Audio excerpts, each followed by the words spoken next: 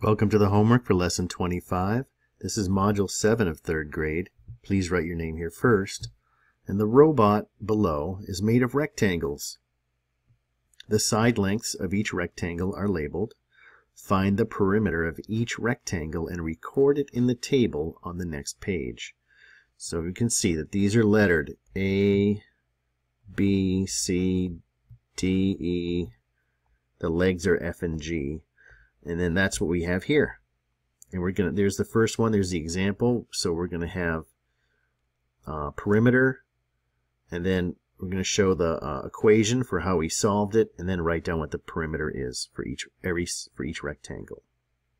So you can see this is a this is a a is a 4 by 4 and that's not multiplication. Well maybe it is Uh, it is because it's a square. We're not multiplying all these, so don't take this and just start multiplying the sides because that will give you the area. This one here is, you can multiply it because the sides are all the same. It really should be 4 plus 4 plus 4 plus 4. I really want to, that's how I'm going to write down all of these, even if there are, I don't, there's one other one that's a square. I'm not going to multiply it just because it, I think it, it's confusing, um, and in especially with in third grade, to think of area. It's confusing unless you to think of multiplying to get perimeter because we want to just keep it in mind that usually multiplying the side lengths gives you the area. It doesn't always give you the perimeter. So just be careful about that and just just add to make perimeter and multiply to make area. Uh, we're just doing perimeter. So here we have uh, A is done. So B is 2. It's a 2 by 2 square. So the perimeter is 2 plus 2 plus 2 plus 2. You can write it that way and still think of it as four twos.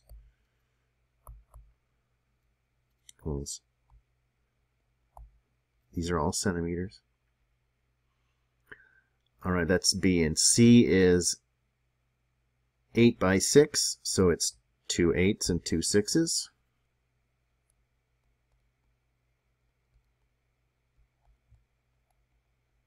And if you really want to be fancy about it, I'm just going to give one example of this. You could write it as 2 times 8 plus 2 times 6. But I'm really, I am just going to I'm not going to do that for this because I am going to just stick with addition for perimeter. So 2 eighths is 16. And 2 sixes is 12. And I can just look at that 16 plus 12. And those are pretty friendly digits to work with 28. And these are centimeters. D is a 2 by 5. So it's two 2s and two 5s.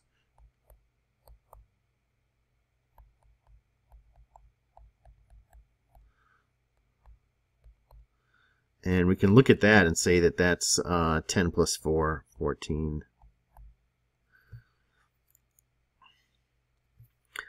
E is a 5, a same thing, 5 by 2. It's the same as the other arm.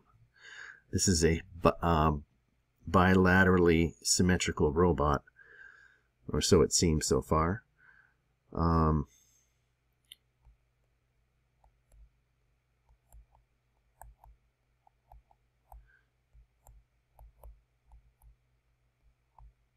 Please make sure you write down the equations for all of these. Even if you can just do it in your head and don't just write down a number, please write down the equations.